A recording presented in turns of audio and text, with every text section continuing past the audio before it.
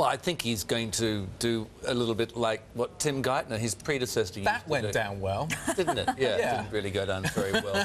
Uh, and I think it's very limited what the prodding of the European officials can become, come, can achieve from from the the new U.S. Um, Trade Secretary, uh, U.S. Uh, um, Treasury Secretary. But the important thing is that they is, uh, they're establishing relationships, and I think that's probably what this trip's all about. It's about establishing relationships, and he's going to meet with.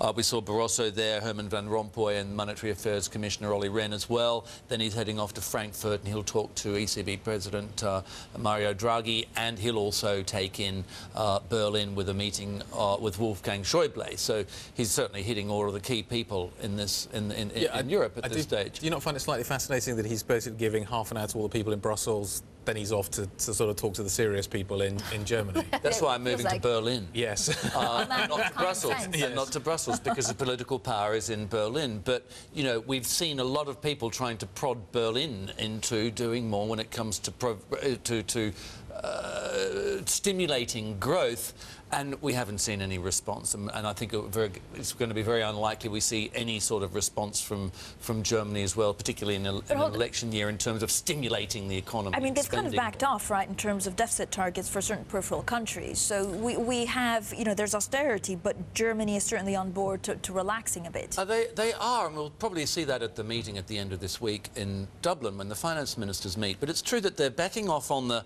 on the targets, but they're, and this is something we've heard from the European Commission, they're talking more about the need to actually achieve structural budget deficit targets rather than actual budget deficit targets, because every time a country contracts, that makes it more difficult to actually achieve, you know, to, to look after that. So they want to make sure that structurally people are on the are, are on the right track, and that's going to be the key thing for Portugal.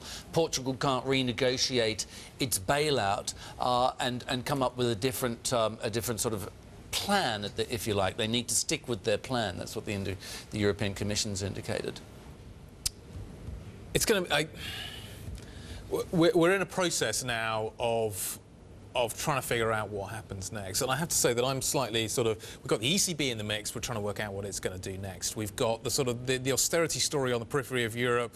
Portugal's just the latest case in point. We're trying to understand exactly kind of what the next leg is. kind of feel we're in we're in limbo at the moment. We, there's a whole series of things happening. The data's getting worse. But we, we don't have a coordinated response. Do you, any sense that we're going to sort of start to get more Well, this is one of the big criticisms, isn't it, that the European response has not been coordinated. We saw that with the Cyprus bailout. It certainly wasn't coordinated, and the whole thing blew up in their We still don't understand what the But I do think what is interesting is what Mario Draghi started to talk about uh, at the meeting last week, the European Central Bank meeting last week, and I wonder if indeed Financial Times has got an editorial about it, about the need for more creative thinking coming from the European Central Bank. Because the big issue here, you know, uh, monetary transmission, yes, it's not working, but how do you get uh, smaller companies, SMEs in the uh, in the peripheral states to actually see their borrowing costs coming down, and what can actually be done? One of the suggestions I thought was interesting in the FT this morning was that perhaps the European Central Bank could start buying securitized loans of these SMEs, but then that would put the risk onto the EC balance sheet, which brings in The the, role of the government. No, the role of governments and Yeah. maybe more flexible use of the ESM to actually get, uh, actually stand behind the potential liabilities from uh, taking on those sorts of loans onto the ECB balance sheet. There's lots that can be done. David, Just a matter of doing it.